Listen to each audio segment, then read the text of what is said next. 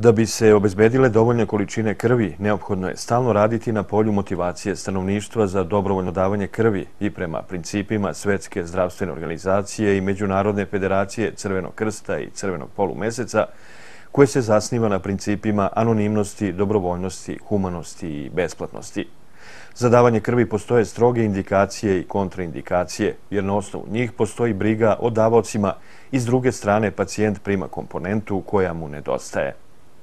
Danas je u Mašinskoj školi u Raški održana jesenja akcija dobrovoljnog davanja krvi od 9 do 15 sati, na kojoj je do 11 sati dragocenu tečnost dalo 55 davalaca, čija su većina bili srednjoškolci, gimnazije i mašinske škole iz Raške.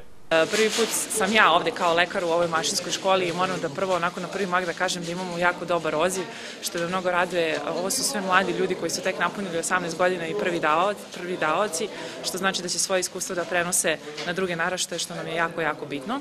E, što se tiče e, samog značaja davanja krvi, ono je u samom smislu što je dobrovoljno, mislim da nema većeg značaja od toga da se pomogne na taj način nekome koji je zaista u životnoj opasnosti. Što bi žela da istaknem, znači ko može da bude davalac krvi, to su osobe osobe znači, koje su punoletne od 18 do 65 godina, e, bitno je da nisu na nikakvoj terapiji, a ako jesu, oni će već u samoj konsultaciji sa nama, znači mi ćemo da procenimo da li to može da bude zadavanje ili ne i naravno ono što je bitno za ove devojčice koje su ove, ovaj, sada punoletne da imaju više od 50 kg. E, procedura je zaista jednostavna, sve traje ukupno oko 20 minuta. Mi smo ovde svi zaista spremni da, da, da učinimo to prvo davanje e, bez, bezopasnim. Tako da ih sve pozivamo da dođu. Mi smo ovde danas do 15 časova u mašinskoj školi u Raškoj, e, što me raduje ovde je i veliki oziv kako i građana same Raške, tako da mislim da će ovde bude zaista jedna od uspešnih akcija. Tako da vas sve pozivamo, mi smo ovde i da podsjetimo da je u stvari e, dobro nadavalaštvo nešto što je zaista prelepo i mislim da zaista vredi biti human u ovo vreme. Da, evo juče su srednji školci imali edukativni dan što se tiče davolaštva krvi. E, iz Crvenog krsta iz Raške su im održali predavanje, tako da su uglavnom upoznati sa, sa ovom tematikom. Jeste, e, što može da se vidi na pregledu kod mene, znači oni su zaista upoznati sa svim rizicima i naravno sa onim što moraju da zadovolje da bi postali dobrovoljni davaoci.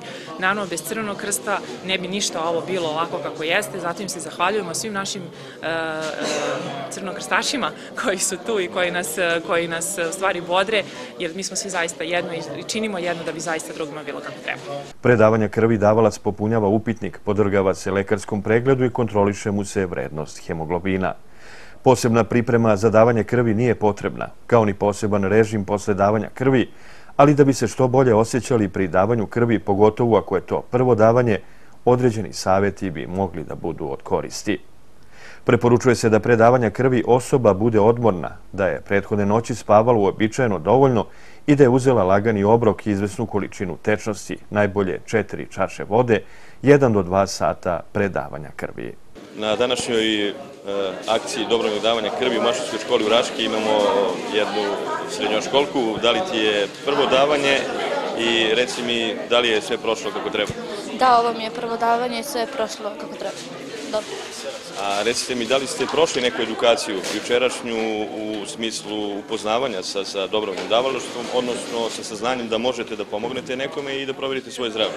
Pa da, doktor je juče dolazio kod nas u odeljenje i razgovarali smo o tome i zbog toga sam i došla da dam krv, jer ako imam ja, da bi neko drugi imao, da budemo humani. Znači u narednom periodu ćeš biti redovan davalac. Naravno, hoću.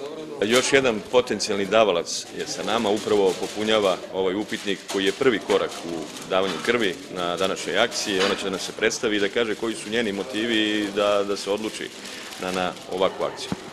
E, pre svega dobar dan, ja sam Ivana Radulović, imam 20 godina. E, što se tiče motiva, jednostavno e, htela sam da pomognem nekome, čisto znam da je ta moja krv nekome preko potrebna, pa sam eto htela da budem humana i da nekome učinim to zadovoljstvo da, da primi tu krv. A reci mi, da li je ovo prvi put? Nije, ovo mi je četvrti put. E, znači ti si već iskusna što se tiče dobrovnog davanja krvi, a reci mi krvna grupa? E, nulta pozitivna. I kao što si rekla, verujemo da će nekome mnogo značiti. Ja se iskreno nadam. To su prvenstveni motivi, a naravno i provera ličnog zdravlja. Pa da, naravno i to. Nakon donacije, davoci se testiraju na sifilis, HIV, hepatitis i druge bolesti. Testiranjem se utvrđuje da li je krv osobe zdrava i dobra za pacijente. E, ja sam volonter Crvenog krsta već treću godinu i ovo je jedna od e, redovnih akcija. E, u prvih sat i po vremena imamo 30 prijavljenih davalaca krvi. Većina je već dala krv ili daje i mogu se pohvaliti da je među njima veliki broj mojih vršnjaka, odnosno srednjoškolaca. Eto, dragi gledoci, ako ste u mogućnosti, dajte krv, budite humani i proverite svoje zdravlje, verujte, ništa ne boli.